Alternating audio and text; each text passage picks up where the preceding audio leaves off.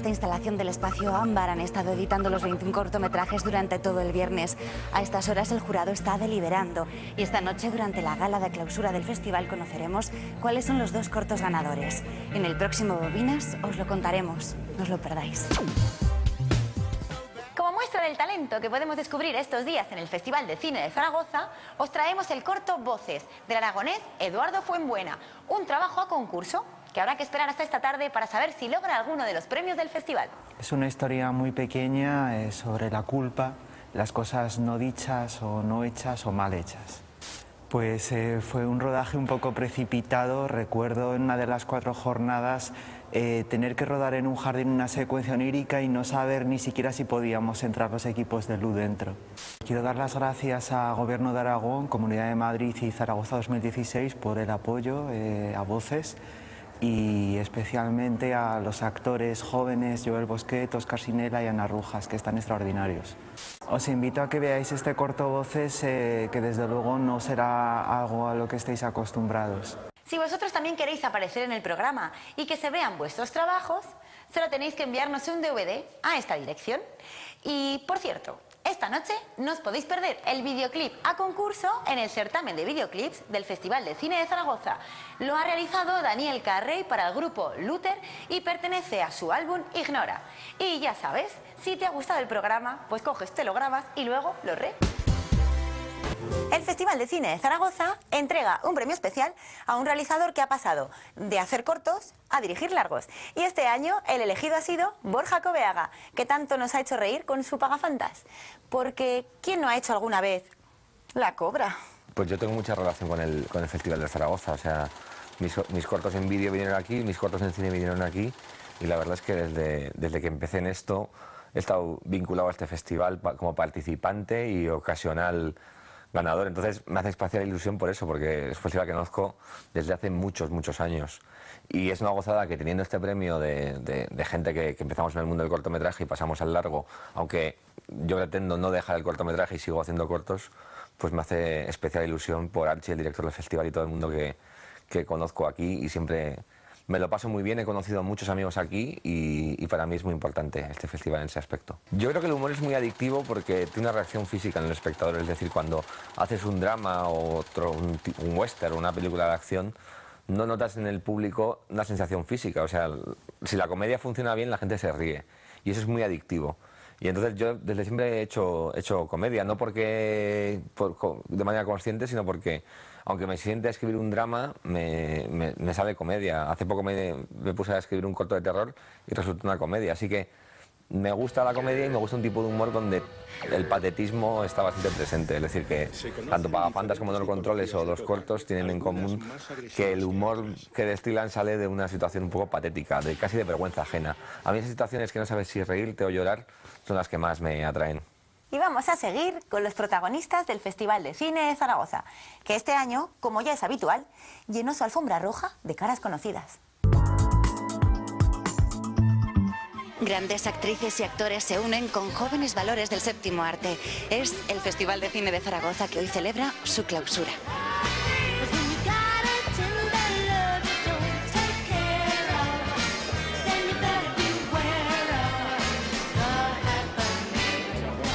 Premio Ciudad de Zaragoza, pues me parece, parece estupendo, me da me, produce una enorme satisfacción recibirlo, me produce una enorme emoción recibirlo. Es un premio que a mí yo me he tomado con mucho interés precisamente porque se trata de Zaragoza.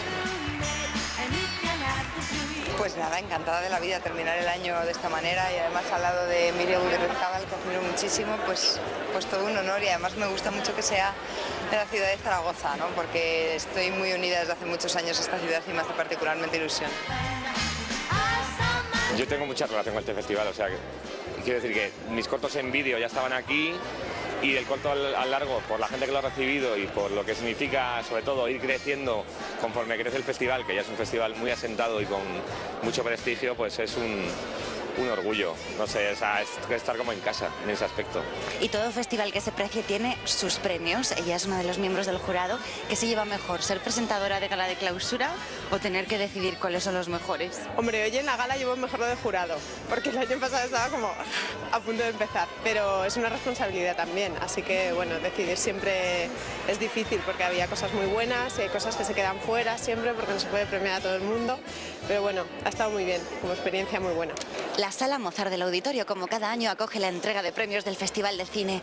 Silencio, comienza.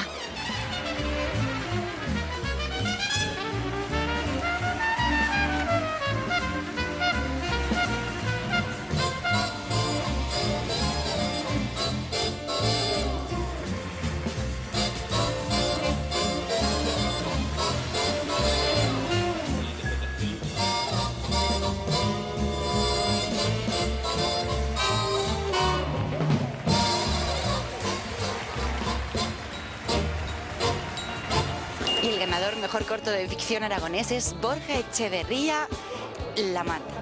Exactamente, eso es lo que mucha gente no sabe de Borja Echeverría La Mata, que se apellida La Mata para su desgracia de segundo apellido, está estigmatizado ya. Es mi primo, desde que nació, no, no tuvo opción, mi primo el pequeño.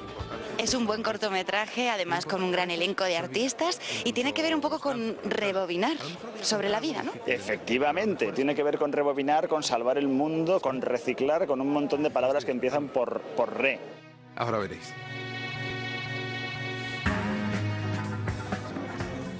Muy contento de que el jurado del Festival de Cine de Zaragoza haya dado una mención especial al videoclip Sal. Estoy también muy contento porque este año en la sección de videoclips había muchísima participación aragonesa. Y bueno, la mención especial en teoría es porque, por la trama original y bien desarrollada del, del videoclip, que es lo que ha dicho el festival. Y este ha sido nuestro resumen de la clausura de este festival que cumplía 15 años. ¿Y qué, qué pasará en el decimosexto? Bueno, que, que en primer lugar no me complicaría la vida de celebrar nada. Hay que se- seguir evolucionando las, las novedades de este año, que ha habido varias, pues madu- que maduren, que mejorarlas. Y eso es un poco el objetivo de- del año que viene. Yo creo que podemos estar muy contentos, pero bueno, hasta los 25 no celebramos nada. O sea, simplemente piano piano a, ir evolucionando. Bueno, pues hasta los 25 de momento hemos celebrado esa decimoquinta edición, así que, ¿qué les decimos? ¿Hasta el año que viene? Sí, sí, sí, hombre, por supuesto. Pues hasta el año que viene. Hasta el año que viene.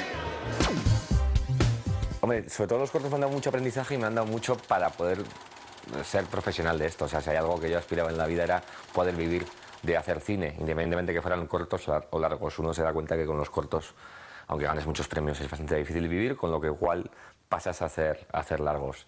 Entonces, a mí me pilló muy de sorpresa. Yo cuando vine, por ejemplo, aquí a Zaragoza con la primera vez, yo no sabía lo que era un festival, era el tercer festival que venía y decía como, ¿qué es esto? A ver...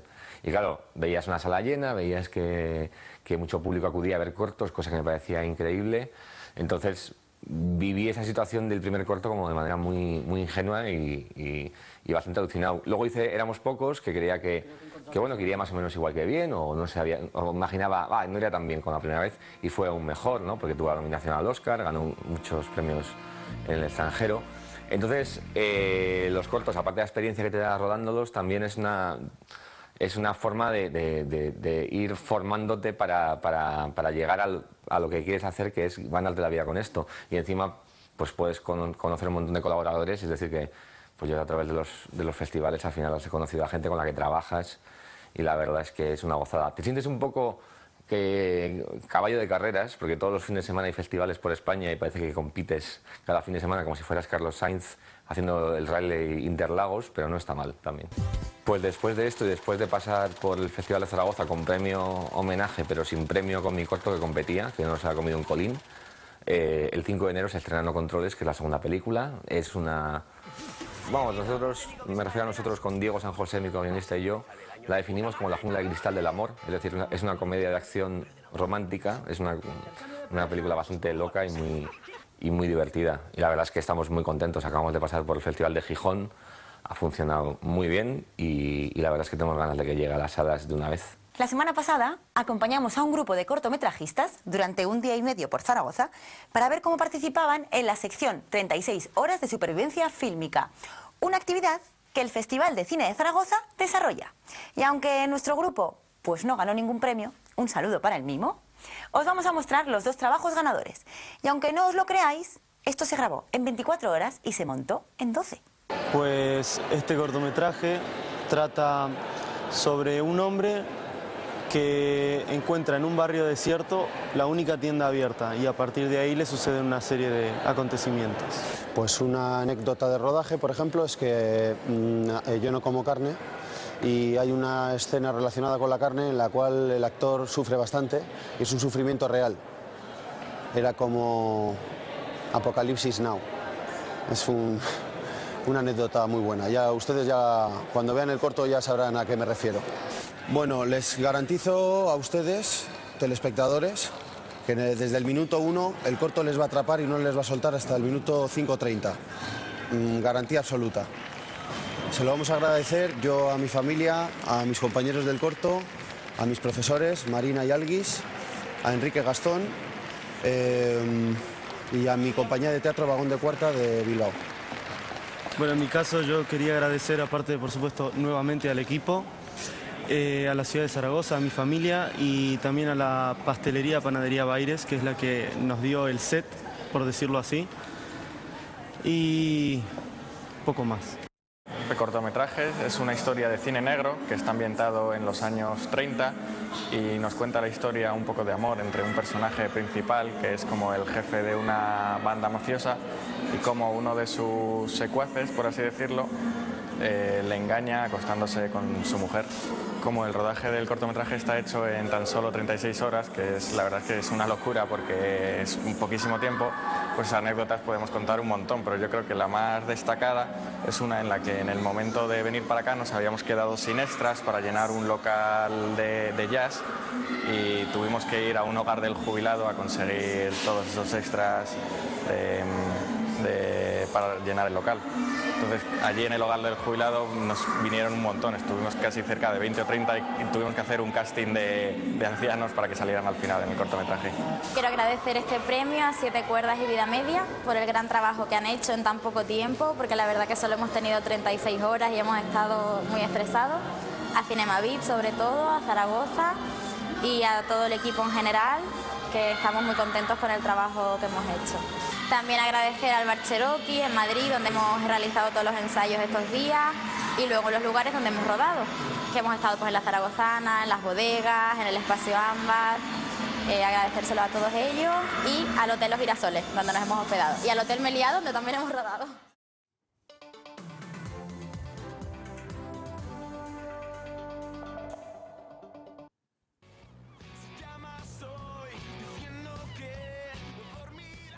Es el videoclip Mentiras del Grupo Dinero, una cinta que ha ganado el premio al mejor videoclip del Festival de Cine de Zaragoza. Ya ven, un joven bajo la arena de la playa sufriendo las mareas. Por cierto que esta banda actúa esta noche en la sala deluxe Café Cantante de Zaragoza. Será a partir de las 12 de esta noche.